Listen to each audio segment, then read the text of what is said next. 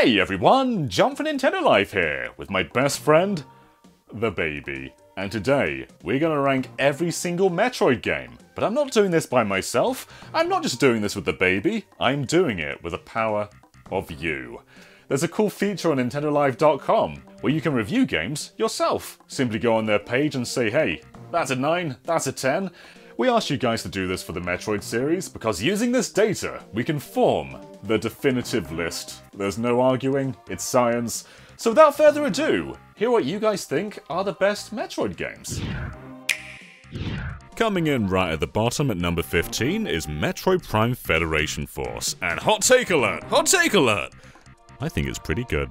Yeah, this isn't the game anyone asked for, and it definitely wasn't the game to break the lull that Metroid was experiencing. However, judged for what it is, rather than what it isn't, this is a pretty great co-op game. It's fine on your own, but nothing particularly special. But when playing with friends, Federation Force is actually a really good time. No hyperbole at all, I think this game got a really bad rap. But I won't argue it doesn't deserve this spot, because even as a good game, it is against giants. Being just a good game in the Metroid series speaks volumes for how great this franchise really is. But Federation Force does have some really good ideas, and even brings the Prime story forward. Those who finished it knew that Prime 4 was still on the way, way before Prime 4 was even announced. Then you've got Blast Ball in there, that's like a 2 for 1 value pack. Seriously though, Next Level Games made a really good game here, and the gyro controls are some of the best I've ever experienced in a shooter. They are so quick and precise. I imagine many of you haven't played this, but if you can, get a group of friends together and just give it an honest go. Then at number 14 is another Prime spin-off with Metroid Prime Hunters. There was a time where this game was basically the tech demo of the DS. We were used to handheld games just being 2D, but the DS came out with a full-on Metroid Prime style game. It was a massive leap, and while this was handled by NST rather than Retro Studios, the end result was still really impressive.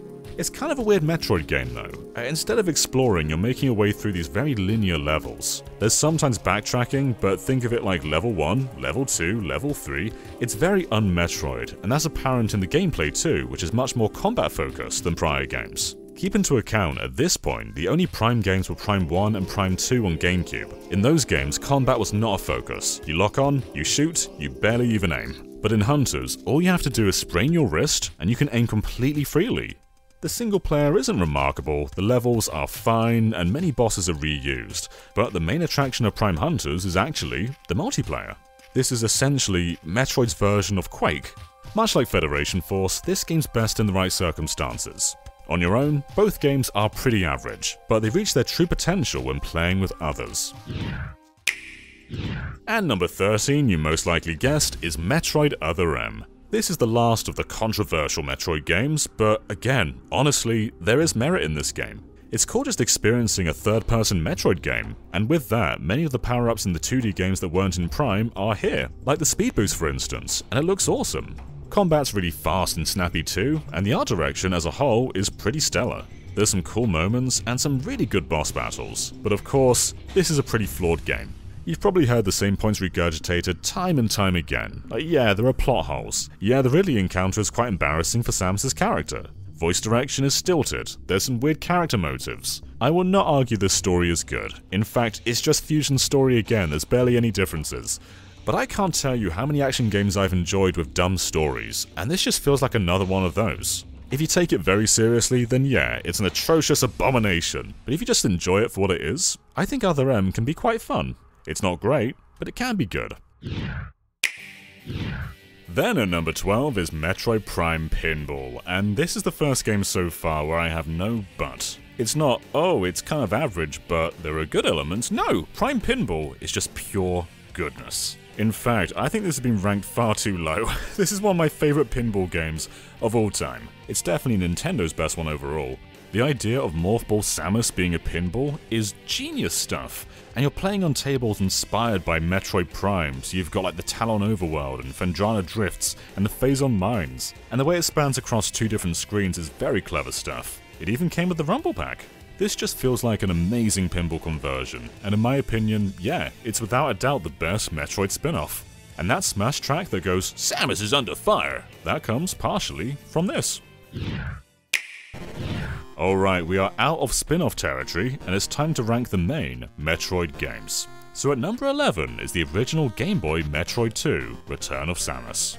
Now, I've recently replayed through every Metroid game, and I enjoy all of them by their own merits, but Metroid 2, I would probably agree is the weakest mainline entry. Now, it's not bad by any means, it's a very ambitious Game Boy game. We're talking about a system that was known for Tetris and Mario Land, but Metroid 2 gave you a full, explorable world. It also introduced a new design for the Varia suit, and Samus is just synonymous with this look. Metroid 2 was a necessary evolution in getting us to Super Metroid, and it does many things better than the first game. But the core idea of turning areas inside and out and fighting the same Metroids over and over is a bit of a repetitive one.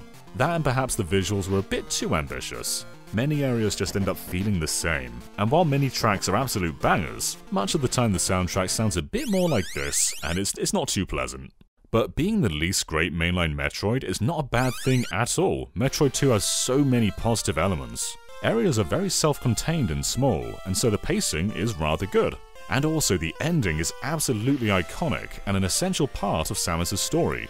It may be a little rough, but Metroid 2 is a must-have Game Boy game. And then at number 10 is the original NES Metroid. I was quite late to playing this, and to be honest, when I first played it, I thought it hadn't aged too well.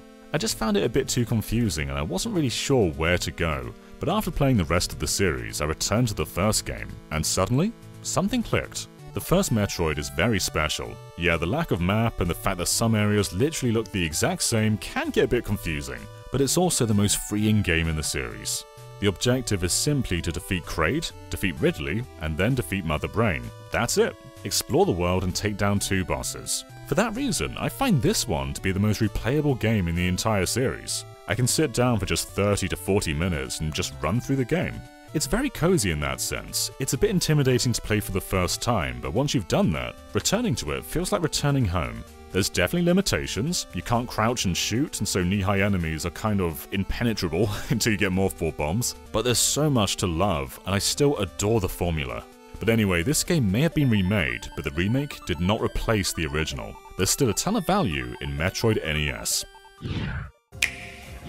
And then at number 9, we're jumping back to Metroid 2 with Metroid Samus Returns on 3DS. Mercury Steam were made for Metroid. These guys understand how you make a Metroid game. Samus Returns not only brought the core franchise back for the first time since Other M, but it did so not just by looking back, but looking forward. This was an evolution for the franchise. Samus felt more powerful than ever. You can you can wrestle with Metroids now. You can freely aim in 360 degrees, you can counter enemies. This was simply the most versatile feeling Metroid game to date. And all those flaws the original Metroid 2 had, like all the areas feeling somewhat the same, were eliminated. Samus Returns is a gorgeous 3DS game, and every single area feels distinct. And here comes the but. But, it's still Metroid 2. Some of you out there may love the premise of hunting Metroids, but if you don't, well this doubles down on that hard. Not only are there more Metroids to find, but fighting them takes way longer. These fights are far more elaborate. There's even some that escape the area and go to another one where you fight them again. The surrounding elements are all so good, but it's just draining to fight these Metroids again and again and again. And even some original stuff, like this guy, yeah, it's not so hard. That said, in my opinion, this is easily, without a doubt, the best way to play Metroid 2. It doesn't replace the original, but it is a much better game. By the way, with Samus Returns, we have reached a point where the rankings are so similar from game to game. Like, we're talking decimal differences, it's really, really close. Anyway, next game. At a rating of 0.08 higher than Samus Returns is number 8, Metroid Prime 3 Corruption. I'm not sure if you guys remember, but the first Wii game we saw was not Wii Sports. It was not Twilight Princess running on the Wii. The very first Revolution game we saw was Metroid Prime 3. And the anticipation for Prime 3 was palpable. All fans were excited. And you know what? It delivered. Metroid Prime 3 made me a believer in motion aiming. To this day, for me, shooters are much, much better with gyro. It's just so natural to point at the screen and simply move where you want to go far more intuitive than analog sticks. Now there is some stuff in this game that's not too intuitive, like pointing at the screen and pumping up and down, but those moments never last too long. This was a bit more of an actiony take on Prime, and to spruce things up, there's the brand new Hyper Mode. Now, this does slowly kill you for using it, but the power is so intense. You can take down enemies in seconds. Just watch your health. Instead of exploring one interconnected world, Prime 3 takes you around the entire universe. Your ship is kind of your companion in this game, and you'll use it for multiple things, but primarily, flying to completely new planets. This makes the core game a little more linear than the prior two, but it does work. And god, the art direction is amazing. Skytown in particular still looks as good as any current gen game. You guys may have ranked it as the weakest in the Prime series, and even if that's true, it's still an accomplishment. Prime 3 is incredible and one of the very best games on Wii. And then at number 7 is Metroid Prime 2. Now, Prime 2 has people divided. Some find it quite intimidating, whereas for others, it's their favourite game in the series. I wouldn't be at all surprised if many people voted this as their favourite game. For me personally, I'm somewhere in the middle. I love the darker elements, and it starts off almost like a horror movie. Metroid's always been influenced by Alien, but this is just so apparent. But as the game goes on, you'll be going back and forth between the light world and the dark world. The worlds have the same sort of level structure, but everything surrounding them is different. Echoes has such a distinct vibe, and it's hard to deny the coolness factor. While Zelda was going very cartoony, Metroid was going darker than it's ever been before, and in fact it's never been darker than this. Prime 2 is just such a distinguished game in this series, and there's nothing else like it. It can get tricky in places, and that was balanced out a bit more in the trilogy version, but for what it is, Prime 2 is an outstanding game, and a GameCube must have. And then at number 6 is Metroid Fusion. Now this was the game that came along after Metroid's longest hiatus ever. There was an 8 year gap between this and Super, with nothing. Metroid skipped the N64 entirely.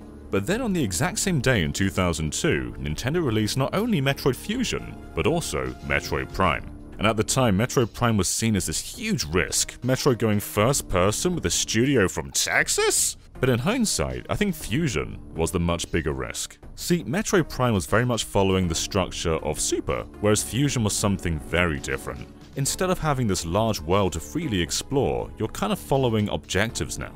Your computer Adam will say, hey, go to this spot right here. And while getting to that spot isn't always so simple, it's a different kind of freedom to prior games. You're always in the area you're meant to be in, and perhaps more than any entry in the series, Fusion really takes its story seriously.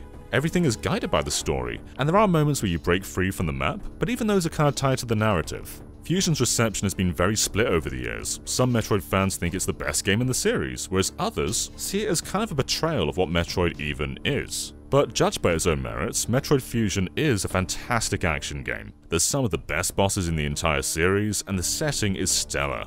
The backgrounds are so vivid and full of life, and there's a ton of environmental storytelling going on too.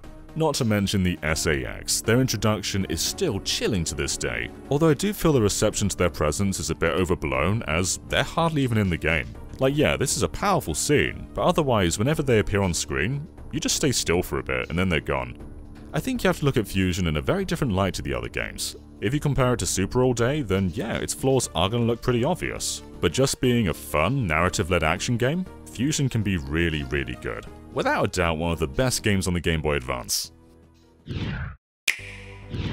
But then number 5 is Metroid Zero Mission. And you may have been able to tell, but I am one of those people who lean a bit more negatively on Fusion. I like it, but I don't love it. But that's okay, because Metroid Prime came out on the exact same day, and only two years later, the Game Boy Advance would get another Metroid game with Metroid Zero Mission. This was the first remake in the series, and in my opinion, it's one of the best Metroid games.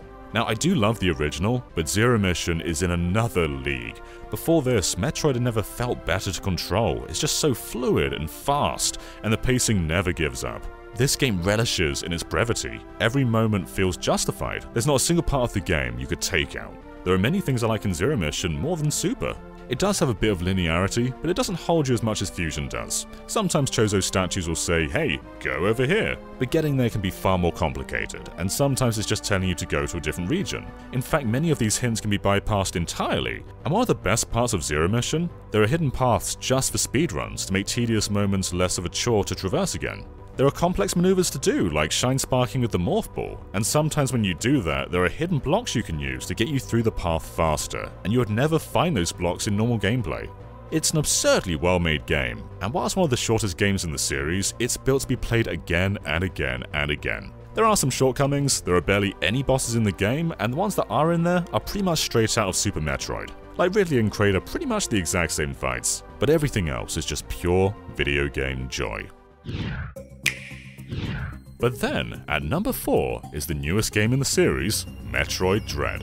When I finished my initial playthrough, I thought to myself, I think this might be the best Metroid game. Now I've had time for that thought to process a bit, and I might not regard it as the best, but it's so darn close.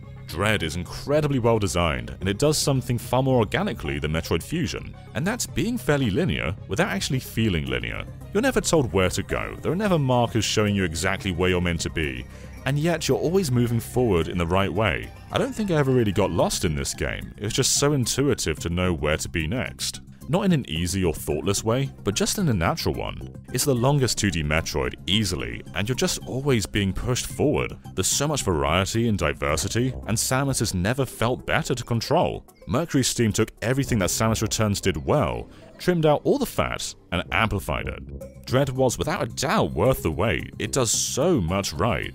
In fact, I can't recall the last time I played a game with this much polish. This is up there on the Switch with games like Breath of the Wild and Mario Odyssey and Smash. It's just so good, and the story is so satisfying for longtime fans. I'm still thinking about the ending. Dread is simply a masterful video game. At number 3, we have Metroid Prime. How many 3D Metroid or search action or Metroidvania games can you think of? You're probably thinking of games with elements of that, like Dark Souls or even Batman Arkham Asylum, but how many pure 3D Metroid games are there outside of the Prime series? Very few, and that's because making this kind of game is such a daunting task. Metroid's already complicated in 2D, but breaking free into a third dimension is a tall order, but Retro Studios, on pretty much their first try, nailed it. Metroid Prime redelivered the wonder of Super Metroid, but this time behind the eyes of Samus. Everything we loved about the 2D games was here, but the world was more realized than ever, it was much richer, and you can scan pretty much anything and learn more about the world. And at this point, the Metroid series hadn't really explored that far. We'd only been to two planets, there was Zebes twice and SR388, but the world of Tallon 4 was so different. Outside of Ridley, every boss was new. There were new places to explore, like Phendrana Drift and the Phazon Mines. And technically speaking, Metroid Prime is still stunning today. This showed that the tiny GameCube was a powerful beast. Not only does it look beautiful and there's hardly any loading at all, but it ran at 60 FPS. It's still a remarkable accomplishment, and artistically, looks stunning today. There's so much that Prime gets right. Uh, the only negative I can think of are the Chozo artifacts you have to find right at the end, but even those are pretty fun to discover. It's just moment to moment greatness. Metroid Prime is a video game you must play with your time on Earth. It's essential for anyone who plays games. And number 2 is a little bit of a cheat, but Metroid Prime Trilogy. This is undoubtedly one of the best value packs you can get in games. Metroid Prime, Echoes, and Corruption on the same disc, all in widescreen now. But what really sets Prime 1 and Prime 2 apart from the originals is the Wii Remote. Prime 3's amazing control scheme is back in every single game, and it works masterfully. You can hardly tell the games weren't made for this, it feels so native. There are some adjustments, like achievements in every game, and Prime 2's difficulty has been adjusted, but for the most part, this is exactly what you think it would be. There's not that much to say, Prime Trilogy is something that every Wii owner should have. It's just one of the best packages ever printed onto a disc. So how do you top that? In 1994, Nintendo R&D created Art. Metroid 1 and Metroid 2 created the foundation, but Super perfected it. Super Metroid is the best Metroid game, as voted for by you. And this isn't some untouchable pedestal, there are things that other games do better. Fusion, Zero Mission, Samus Returns, and Dread have much snappier controls. Cycling through missiles with the select button isn't great in Super, I can point out some things that other games certainly do better, but when I return to play Super, it's almost like those elements didn't matter. This finds an amazing middle ground between the first game and modern Metroid, where exploration is the name of the game and is rewarded. You're never told where to go, you're trusted to use your own initiative at all times, and that's one of the most rewarding things you can do in a game. You will probably get lost in Super, and sometimes where you're expected to go is on the other side of the world, but figuring that out feels so good. I almost forgot how good this game was, like I was telling myself it's a masterpiece because it's Super Metroid, but replaying it, Every pixel just feels like perfection. It's easily the best soundtrack in the series, and probably the best soundtrack in a game. The vibes are untouchable, and there's so much diversity. Every single boss encounter feels unique. We're going from 2 of the first game to 11 in Super.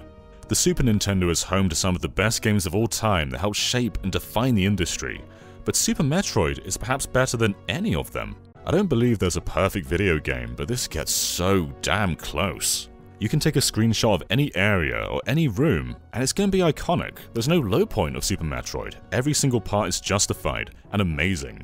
I've long debated my personal favourite Metroid as every game has its merits. For some time I thought it was Zero Mission, but no, Zero Mission is amazing, but Super is just something else. It may not be the definitive Metroid in every category, but it is one of the definitive video games. So I'm personally pretty happy with this list. I mean, I wish Prime Pinball were higher, but you can't win them all. But if you're aggressively upset at the order of this ranking, you still have the power to change it. On NintendoLife.com, these rankings are dynamically changing all the time. So if you think that Metroid Dread is a 10, give it a 10, and maybe one day it'll reach the number one spot. But if you enjoyed this video, let us know in the comments below, and of course go that subscribe button, and nurture it, and feed it, and watch it grow into a much larger Metroid that's going to destroy the universe, and we'll see you next time. Bye everyone.